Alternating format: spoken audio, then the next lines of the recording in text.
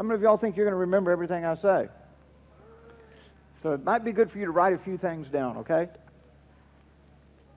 And uh, and taking notes, you don't write down, you you know, just things that I say. Write down what God's saying to you. There's many times in a message that God is saying something maybe just a little bit different than what the guy's preaching on, and that's uh, that's what I want you to write down. What is God saying to you through the message? Okay. So we can put go and go with the first slide up there, Scott. Y'all are going to be surprised what I'm going to be talking about today. I'm sure. That's not it. so what are we going to be talking about today? Okay, what is it all about? what is it all about? It's all about what? And uh, I don't know if you're getting tired of this. Are y'all getting tired of hearing the same thing over and over? Uh, there's a reason for me saying the same things over and over and over. It's because I'm hoping uh, that it's going to stick with you because I'm not just trying to communicate a bunch of information. I'm trying to give you something uh, that you can live on during the week, something that you can apply to your life. It's no good to go to church and just hear a bunch of words. Amen? Just to go and hear a bunch of words, hear a good message, hear a good sermon, hear a good song. Uh, that's not what it's about. You should leave here with a closer relationship with God as a result of being here. Am I right or wrong? So uh, it is everything, everything. I know you hear this all the time. Are y'all remembering any of this? How many of y'all, now don't, don't lie, but how many of y'all are remembering some of this, that it's all about relationship? Raise your hand. Are you, are you thinking about it during the week? Are you thinking about it that everything, listen, from the time that you opened up your eyes this morning until you go to sleep tonight, everything in between is God causing things to happen in your life to draw you closer to Him. Everything.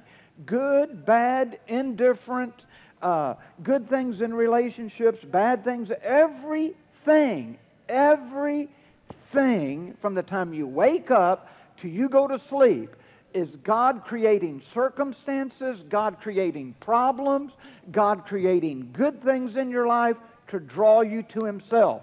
That's why you live. You live for that. You're living for the Lord. You're living to develop a closer relationship with Him, right? Right? So, you know, I mean, listen, I mean, I, I didn't intend to go into this, but it might help. The story of the whole Bible is this. God created man, they had an awesome relationship. Man blew it and they lost it, and the rest of the Bible is about God trying to come back into relationship with man. And then at Calvary, God made a way where man and God could have that relationship again. But there, we have some glitches, and the, and the epistles and the stuff, the letters that we have, is about God working out glitches so that we can have a better relationship with Him. What is the whole Bible about? The whole Bible is about God wants a relationship with you. Everything you read in the Bible, listen, you can take your Bible, you can go home and do this, and just let it fall open, read a few passages wherever it opens up. I challenge you to do this Read a few passages, and you'll find those few passages that you read is about what? God wanting a better relationship with you or beginning a relationship with you. I don't care where you open up, whether it's a prophecy, it doesn't matter what it is, it's about relationship, relationship, relationship. So I want you to get the point. God wants to know you. Now that's cool because he doesn't need you. Right or wrong? Does God need you? Do you have anything that God needs? No, there's nothing God needs or he wouldn't be God. Right? He's God because he has need of nothing. He has need of no one. But God is saying, listen, I'm God and I don't need anything. He existed in eternity past without man, without the earth, without the universe. He just coexisted with him, triune self, God the Father, God the Son, God the Holy Spirit, that perfect fellowship. But then they created mankind so that God could have relationship with us. Now, that's awesome. And we make so little of it. You know, it's like, well, do you know the Lord? Yeah, I know the Lord. Do you know what you're saying? I know God. I mean, we just throw it out. See, if I stood up here and said, well, you know, I'm, I'm personal friends with Billy Graham. Uh, Benny Hinn and I, you know, we had lunch yesterday. Y'all would go, God walks with me every second of every day. And it's like, we're more impressed with the fact that I know Billy Graham or had lunch with Benny Hinn than that God lives in me and walks with me and I know him. So we've just made it kind of a, yeah, I know God. And you know, it's awesome to me that God is after us. God's pursuing you. And I've heard it so many times, you know, I found God. How many of y'all have ever heard that? I found, you didn't find God. God wasn't lost. God found you. God started the whole thing. You've heard me, those that have been around long enough have heard me preach. God is the initiator of our salvation. He's the one that came after you. No man can come to the Father except by him. So God initiates it. God is the one that pursued you. God came after you. And you have nothing to offer God. But God wants to know you. Even in our sin, even in all of our imperfections, all of our issues and demons and problems, God says, I still want to know you because you have great value to me. You're important to me. You're so important to me, and I want to know you so bad, I will have them murder my son on a cross so that we can get to know each other. Does that make you worth something to God? That he was willing to bankrupt heaven, send his son to shed his blood so that you could say, I know God. It cost him everything he had to draw you into that relationship. But to think that God pursues us. Now, I've said this and I'm going to say it again. Religion, religion is man's pursuit of God. Christianity is God's pursuit of man. What is religion? What is religion? And Christianity is what? God pursuing man. But what is religion again? Yeah, and you know what? It's very easy. Listen to me. It's very easy for us to fall into that. You know, we think of the Pharisees as bad people. But uh, the Pharisees were really very good people. They, they were moral. I mean, listen, you'd much rather have a Pharisee as your neighbor than anybody else. Does that make sense? I mean, if you had a Pharisee as your neighbor, then you could trust them, and they were moral and kind, and they went to church, you know, and they did all those kind of things. They were good people. But what happened is their religion, a little at a time, began to get twisted. And it quit being God-centered, and it became what? Became man-centered. See, it wasn't all about having a relationship with God. It became performance-based for how can I please God so that he'll like me more. See, I'm going to give my tithes, and maybe this will, I can earn favor from God. Uh, you know, I'm not going to, the, the Pharisees, it's hilarious. You ought to just do a study. It's, it's, it's really comical. The, the Pharisees uh, had blinders that they would wear so that they wouldn't lust. And, uh, and because of that, they would run into things and they would be bleeding. They really called them the bleeding Pharisees. And they were proud of that. You know, yeah, I'm bleeding because, see, I'm not lusting. but do you know what they were thinking in their heart? and Jesus said that. Listen, you can say you don't commit adultery, but I say that if you lust upon a woman, you've already committed adultery. He took an outward religion and made it inward. And he was basically saying, I don't care. And all of your goodness, it's not good enough.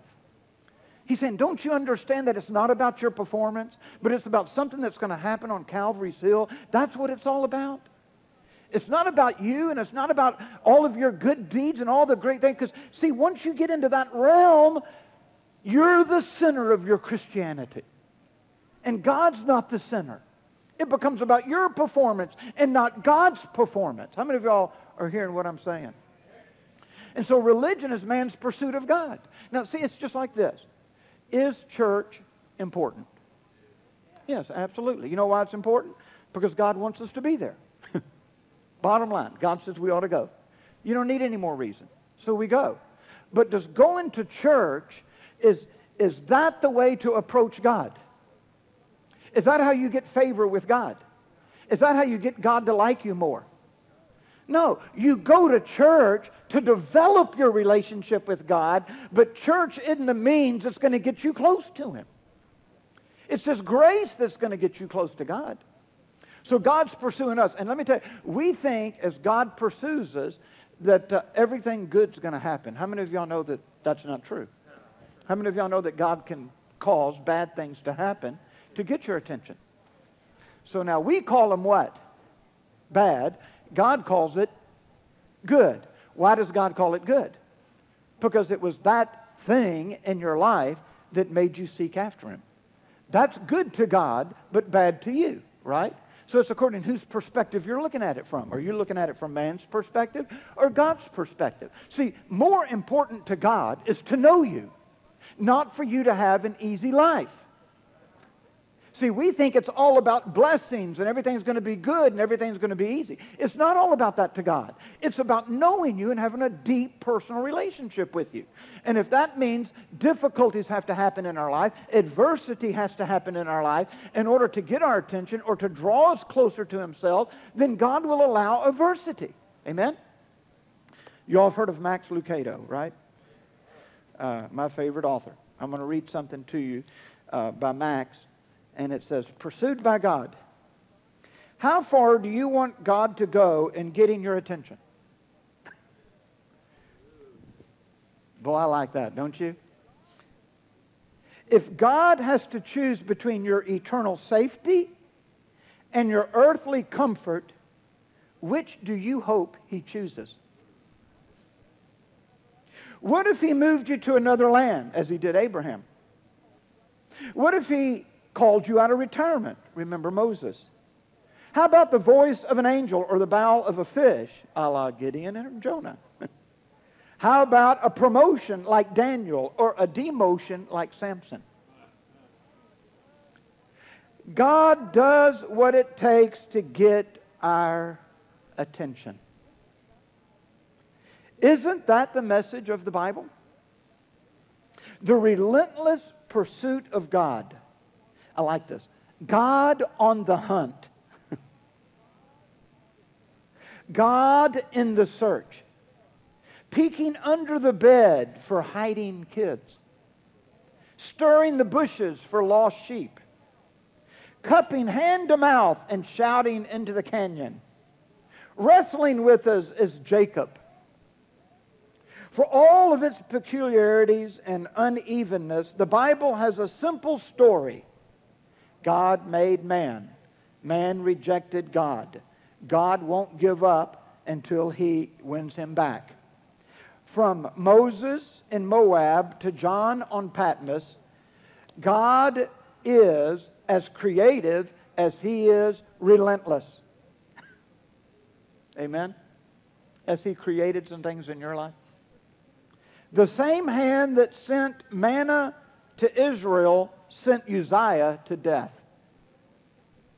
The same hand that set the children free from Israel also sent them to captivity in Babylon.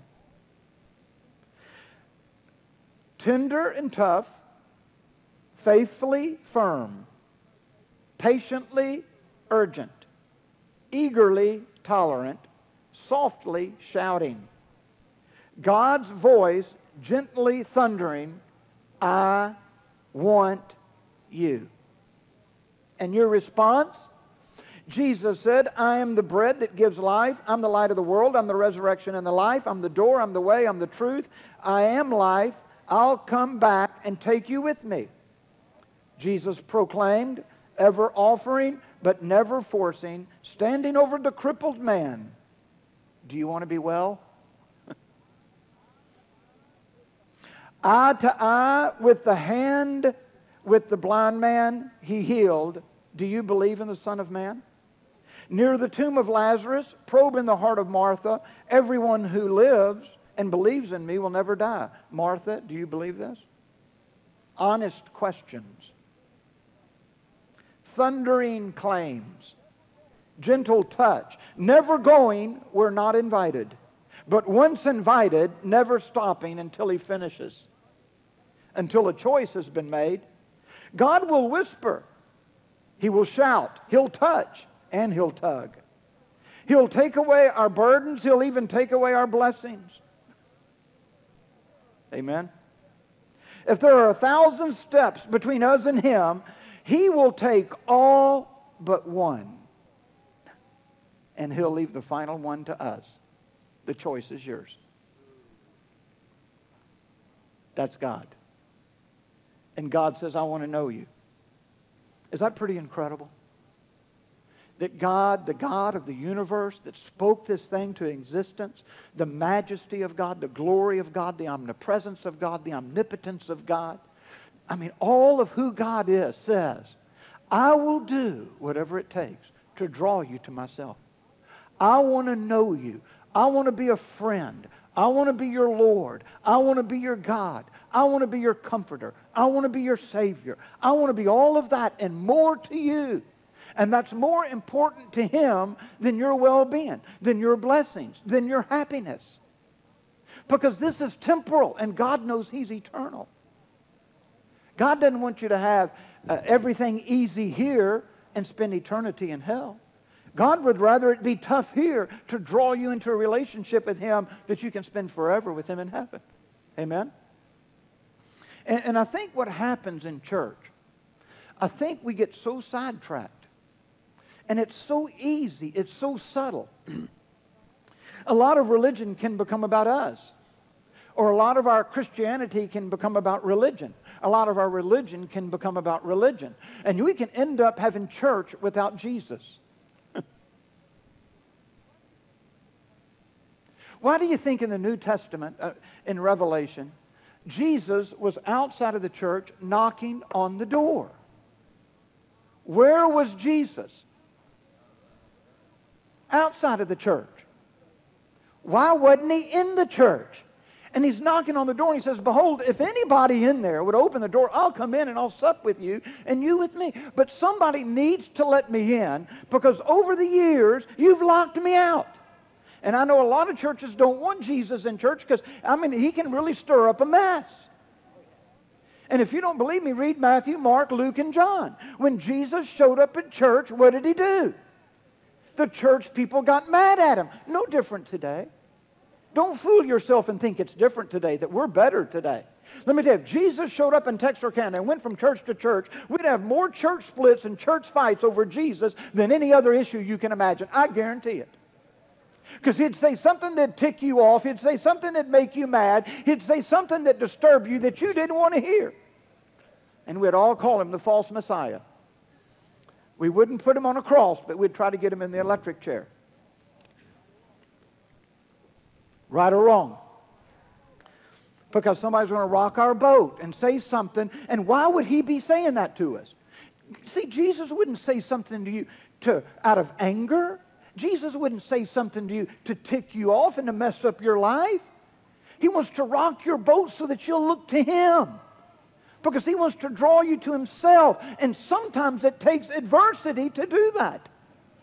Listen, most people I've met that's come to the Lord, their testimony is this. I was at the bottom of the barrel. I got to the bottom of life. I was facing the pen or I was facing uh, a tax audit. or whatever it was. And I just turned to God and I got saved. I wish I'd have done it a long time ago. Very few people say, yeah, life was smooth. I was being blessed. My bank account was big. And I just turned to Jesus to get saved. Most people that get saved get saved in adversity. So what's good, the adversity or to have it easy? In God's eyes, I'll create adversity because I want to know you. Now here's what happens in church. Now listen to what I'm saying. I want you to receive this, okay? We come to church, and the purpose of everything, I, I, I wish I could just burn this. I wish I could brainwash you with this. The purpose of everything in life, not just church, but work, problems, good times, money, no money, is all about relationship. What is it? It's all about what? From the time you got up this morning till you got here, what was it about? It was about relationship. And so what was worship about? That's right. Now see, if you came because, well, I like this kind of music. This is today. I, I don't go there because I don't like that kind of music. I go here because I like this kind of music. Uh, I like this kind of setting. Uh, I like tambourines. I don't like tambourines. I like loud singing. I don't like loud singing. I like shouting. I don't like shouting. Uh, uh I like tongues. I don't like tongues. So you know what we end up making it about? Who is all of that about? It's about us. It's not about God anymore. It's about what I like. It's like Peter Lord said. Peter Lord said, if God was to ask you to bake him a cake, what kind of cake would you bake him? And we name our favorite kind of cake. We'd say, well, German chocolate. And then Peter Lord says, how do you know he likes German chocolate? You assume because you like it, that's what he would want. How do you know he wants that? We've ruled God out. See,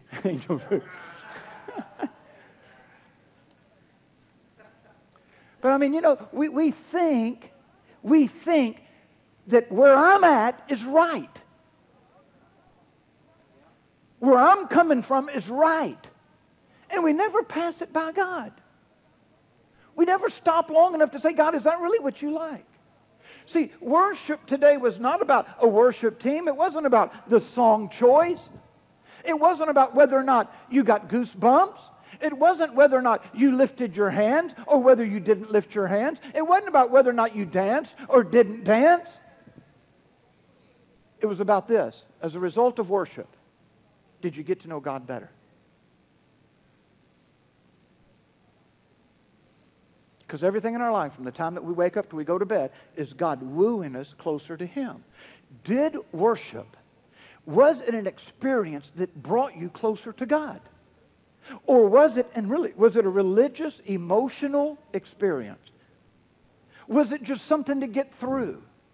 Was it, you know, 10 more minutes and we're done with this part of the service? Or was it a tool that God used through the Holy Spirit to draw you closer to him? Was it something that God could use that maybe he had your attention better in time of worship, that he could speak to you? And the word that he spoke to you drew you closer to him. You saw him in a different light. You saw his grace, his long-suffering, his patience. You got a word of knowledge or a word of wisdom because that worship experience drew you closer to him. He was more able to speak to you or to impress something on your heart. Say, say amen. Do you hear what I'm saying? So what is worship about? Not what we've made it today. It's not about style and rhythm and beat. It's about God and relationship. Yes or no?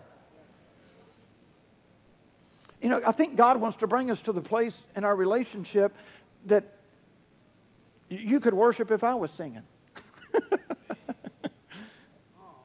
yeah, that's deep, isn't it? Yeah.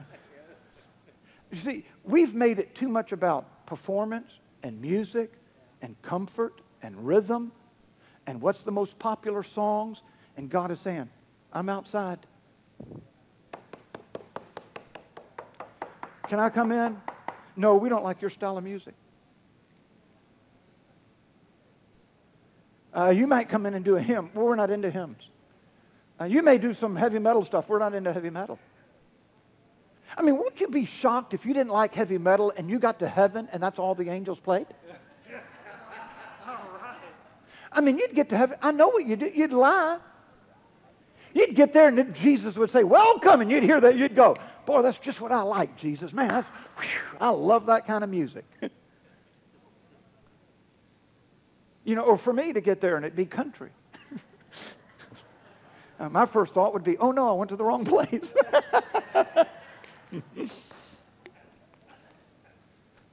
so do you understand what worship is about? Any questions? You, I want you to ask. We're going to learn this. If we're on it two years from now, we're going to learn this.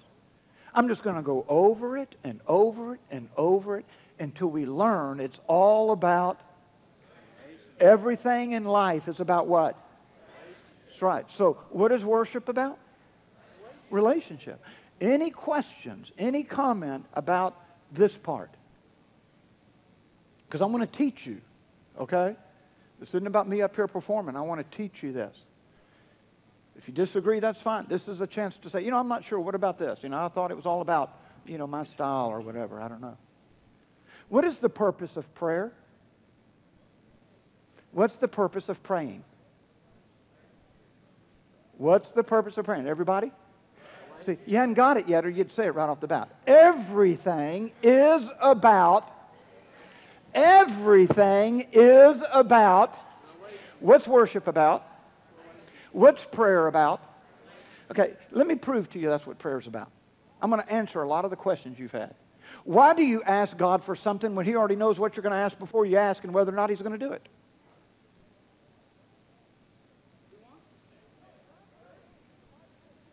No, if God knows, and the Bible says he knows what you're going to ask before you ask. So if God knows 100 years before you're born what you're going to ask when you're 13, why ask? And if God already knows what he's going to do, whether he's going to answer it, not answer it, or have you wait, why ask? Because prayer is not about you controlling the universe and telling God how to run the world. Prayer is about communicating with God so that you can develop a deeper relationship. Do you understand that? What is prayer about? I, I really believe this. You know, the disciples, they, they tried to cast the demon out of the guy. Remember that story? He was laying on the ground, foaming at the mouth, rolling in the fire. You know, the mighty men of God, they prayed. The demon wouldn't leave. He rebelled and said, I'm staying. Well, Jesus was on the Mount of Transfiguration with, you know, uh, Peter, James, and John. So they come down from this glorious experience, right? And, uh, and they couldn't do nothing. I mean, you'd think after something like that, you know, they would just they really have. And so Jesus walks up to the man and he just, you know, tells the devil to leave him. Boom. You know, didn't shout, didn't yell, didn't pitch a fit, just, you know, the devil left. And then the disciples said, why couldn't we do that? Good question. It'd be nice if church people would ask that today. And Jesus said, because this kind comes out only through.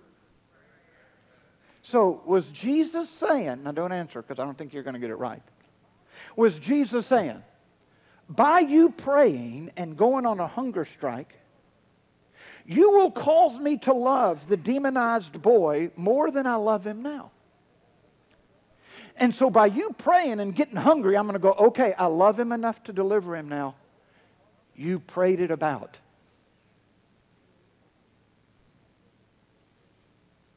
It's a good thought, isn't it? How many of y'all know that Jesus couldn't love that little boy any more than he loved him before he met him? So then, why pray and fast? Could it possibly be that Jesus said, through your prayer and fasting, you're going to draw so close to me? You're going to be so connected to me through that relationship. I'd be able to do the very same thing through you that my Father does through me because I have such an awesome relationship with my Father. I can only do what the Father tells me to do. And the father told me to go over here and deliver this boy. But you didn't have the relationship with the father to be able to perform that task. But me and the father were one. That's close. We're inseparably one. We have an unbelievable relationship. I know what the Father wants me to do. And through prayer and fasting, you'll develop that kind of relationship with me. And you'll know what I want you to do, when I want you to do it, and how I want you to do it. Yes or no? So is it about, is prayer about me manipulating God to get my way? I love this person. I want this person healed. I don't love this person. I don't care what you do with them. or is it more about God wants an awesome relationship with me so he can tell me what the Father wants to be done and I can be the obedient servant? But the only way that's going to happen is through what? Through an unbelievable relationship that's on, that maybe only come through prayer and fasting, maybe come through worship. Let me ask you another question. What is the purpose of Bible study?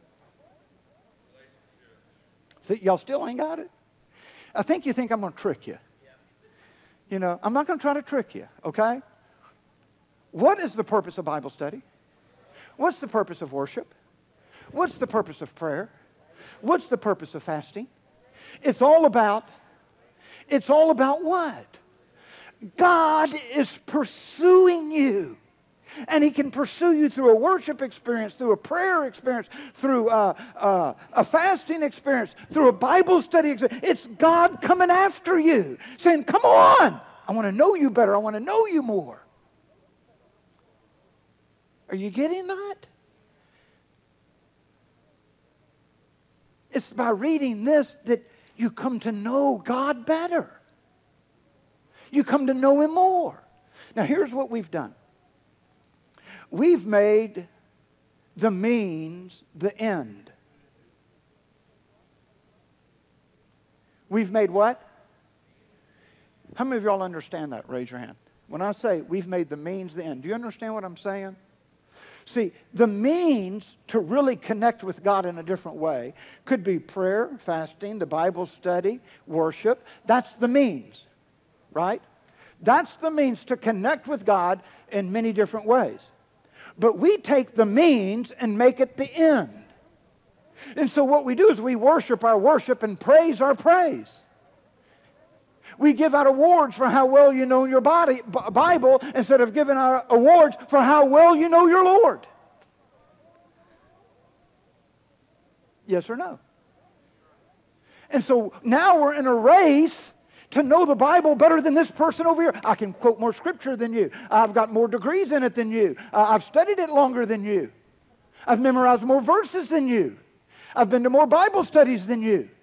We've taken an awesome, beautiful thing that can bring us into an incredible revelation of who God is so that we can know him more and we've turned it into a man-made thing. Why do you suppose there's so much division over every one of those areas I just mentioned in churches? Are we divided over worship? Are the churches in the world divided over worship? Yeah. Are churches divided over prayer? Whether you pray in tongues, don't pray in tongues. Whether you pray out loud, don't pray out loud. Everybody prays out loud. Everybody prays softly. Are we divided over that? Are we divided over theology and what the Bible teaches? Uh, I mean, every church has a different theology. Am I right? Do you know why we're divided over all that? Have you ever asked that? Why have we become divided over prayer, worship, praise, Bible study, doctrine, theology, fasting, whether or not you should, uh, tithing? It's an Old Testament thing. It's a New Testament thing. It's a law. It's grace. We're divided under that doctrine. Why are we divided over all of those things? Why? Because we've made it about who? We took a beautiful thing and destroyed it. And God said, I don't know how y'all did this. I mean, I gave you something awesome that would draw you close to me, and y'all have used it to bash each other. I mean, y'all have used it to turn people against one another. I mean, when I first got saved, started going to church, I thought that was supposed to be the most loving group of people I ever met. And I found out later that you go to church to find out who you're supposed to hate and not hate.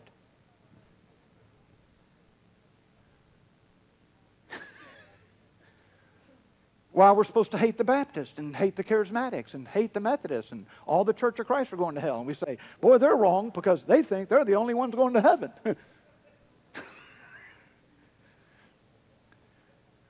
I mean, it may shock some of us, even disappoint some of us to find out who gets in.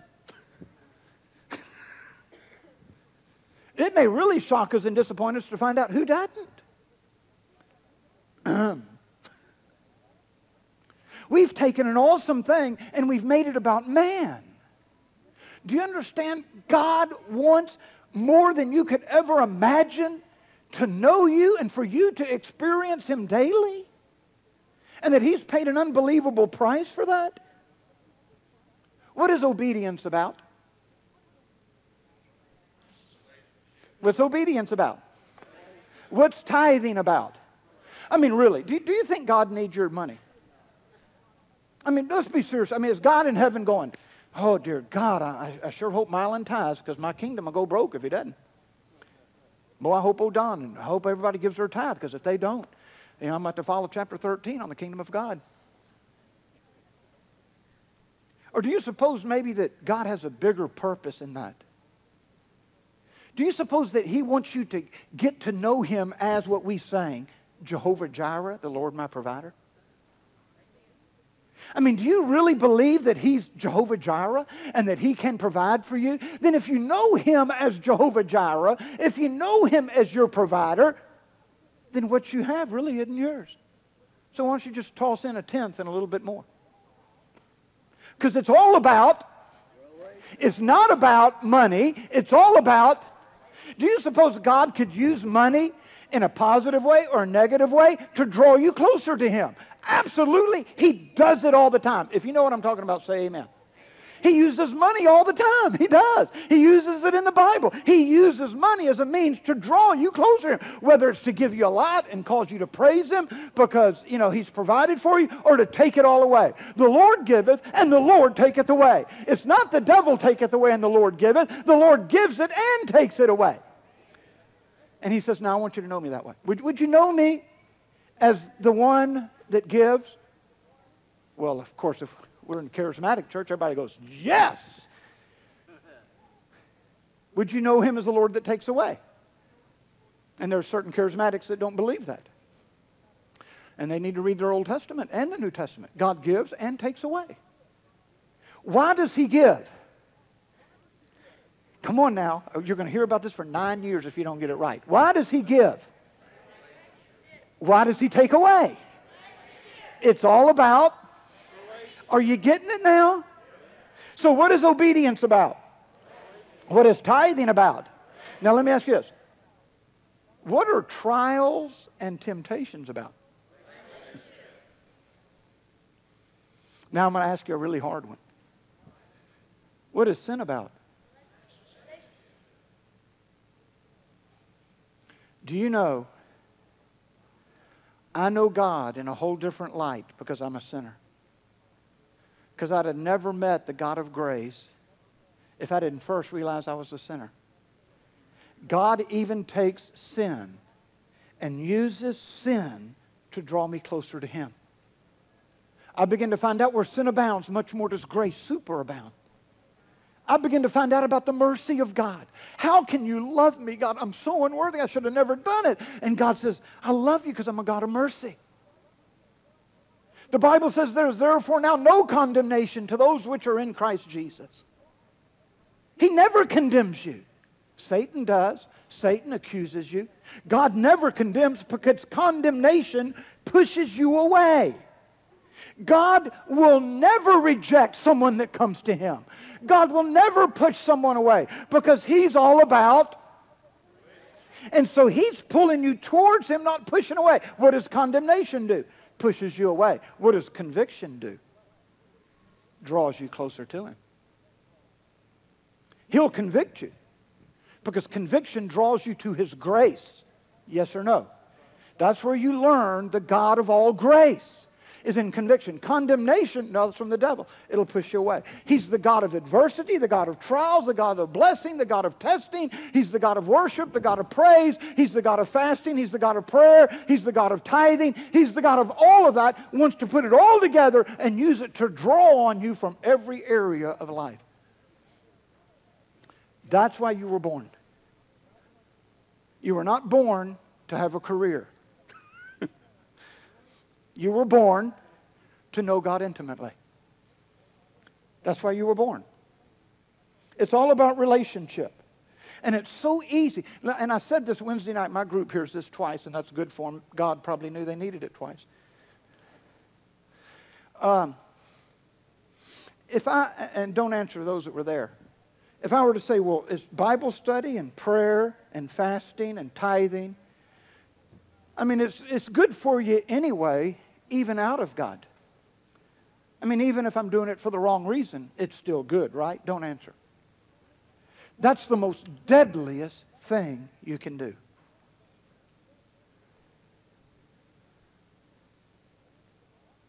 The things that God gave to us to draw him close to him, and we do it just to do it or for some religious purpose, will drive you away from him. I've seen people, honestly, listen, I've seen people get further away from God not understanding worship and praise because they turn it inward and it becomes about them and they get bitter and they get so narrow-minded that their way is the right way and everybody else is wrong and going to hell and we become Pharisees. It's very easy to become a Pharisee today because my way is the right way. And I don't know what you believe about tithing, but I'm right because we've turned it about me.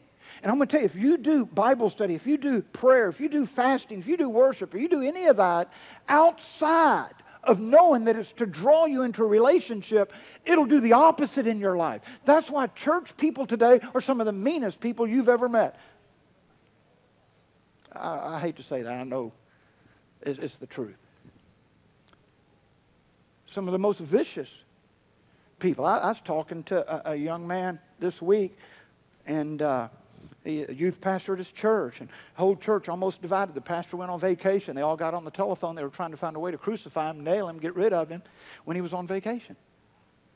And then he came back, and the youth pastor stood for his pastor, and I mean, that whole church almost exploded. And, and so the youth pastor just went in his bedroom, fell on his knees, and began to pray. Wise youth pastor. Began to pray, and God kept all those leaders of the church awake. It was a deacon possessed church.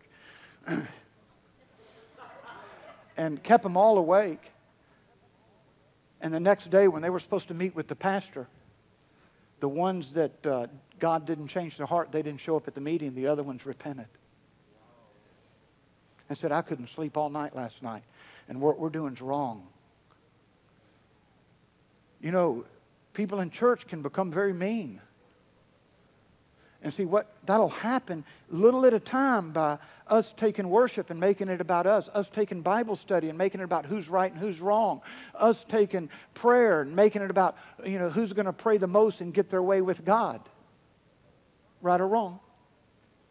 Yes or no? So you got to be very careful. Listen, it's so easy. Listen to me. It is so subtle to become a Pharisee in a Christian church. You just don't realize how easy it is. As soon as it becomes about anybody else other than God, you've become a Pharisee. If it becomes about you, if it becomes about your way, if it becomes about what you want, if anything about you is in it, then you've defiled Christianity. It's not about you, it's all about Him. And it's about Him drawing you into that relationship. Uh, and we use this. We say, uh, and, and, we're going to have to learn God from different ways. How many of y'all have ever said, I know Jesus? How many of y'all have ever said, I know Jesus? What do you mean by that? Are you saying, I got saved? Most people, when they go, I know Jesus, they're saying, I walked in Oliver Church and I got saved. No, that's not what it means. It means you know Jesus. See, but today, what does it mean? I know Jesus. I walked in, I got baptized, I joined the church, I'm saved. Right or wrong? Isn't that what it means? If somebody says, Are you saved? Yes, I know Jesus. Well, what about saying something like, Do you really, really know Jesus? It'd be like, Well, what do you mean? do I really, really know Jesus? Have you ever heard somebody say this? I know the Lord. They mean when they say, I know the Lord? Or are they saying, I know the one personally that controls all of my life? I know Jehovah. I know the Lord.